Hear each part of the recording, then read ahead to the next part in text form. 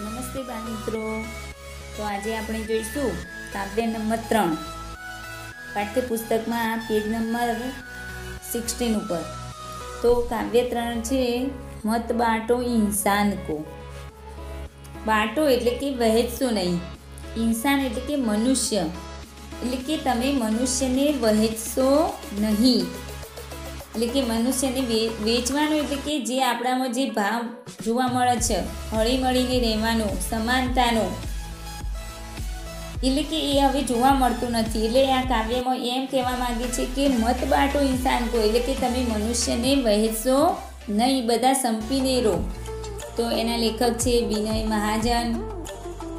તો ઈસ કવિતા મેં વિનય મહાજનજીને मनुष्य को मिलजुल कर रहने की प्रेरणा दी है मनुष्य को किसी भी भेदभाव में नहीं पड़ना चाहिए हमें सभी भेदभावों को भुलाकर एकता की दृष्टि से इस संसार को देखना चाहिए એટલે કે બધાએ એકબીજાના ભેદભાવ ભૂલીને એકતા की दृष्टि से इस संसार को देखना चाहिए એટલે કે જે ભેદભાવ છે એ ભૂલીને બધાએ એક સમાન રહેવું જોઈએ તો यह प्रकृति भी हमें निरंतर यही उपदेश देती है એટલે કે આપણને આ પ્રકૃતિ પણ આપણને હંમેશા માટે આ સંદેશો આપે છે तो इस कविता में एकता मिलजुल कर रहना समानता आदि मूल्य समाविष्ट है તો આ કવિતામાં જે એકતા એટલે કે હળીમળીને રહેવું મિલજુલ કર રહેના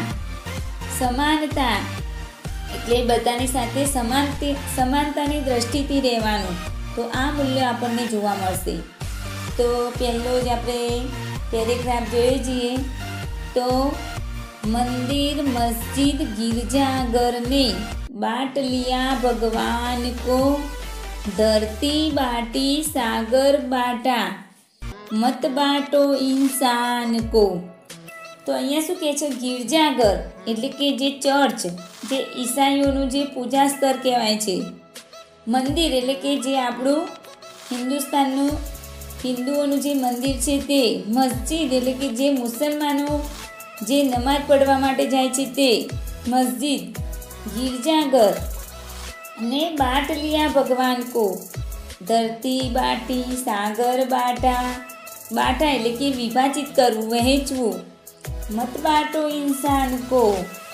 એટલે કે અહીંયા કહે છે, પહેલી પંક્તિઓમાં, એટલે કે કવિ કહે છે કે, દુનિયાના લોકોને કહે છે કે તમે ભગવાન તો સૌનો એક જ છે.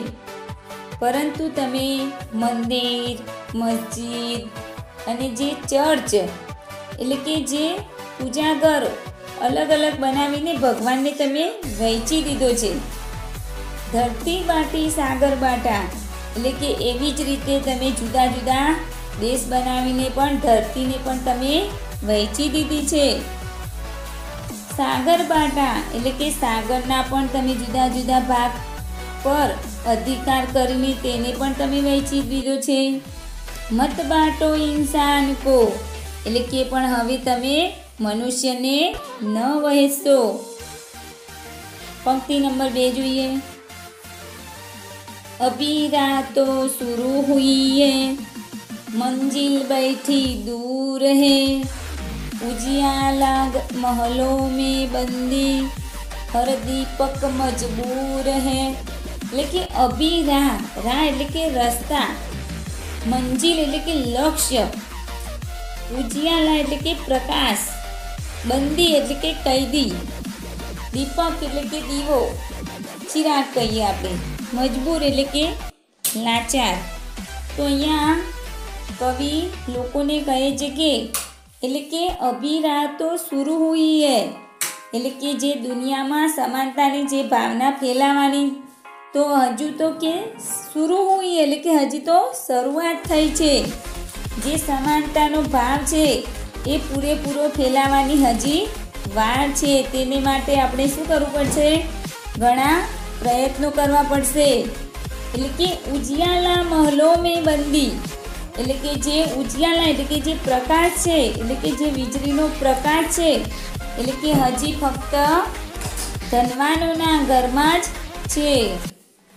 પણ હજી તો ગરીબોના ઘરોમાં તો હજી દીવો જ, એટલે કે બળી રહ્યો છે, એટલે કે દીવો જ પ્રકાશ આપે છે. તો એટલે કે જે વીજળીનો પ્રકાર છે, એટલે કે અત્યારે તો જે ધનવાનોના ઘરોમાં જ જોવા મળે છે. પણ ગરીબોના ઘરમાં તો હજી દીપક જ બળી રહ્યો છે. તો બાળ મિત્રો, હવેની પંક્તિઓ આપણે બીજા લેક્ચરમાં જોઈશું. Thank you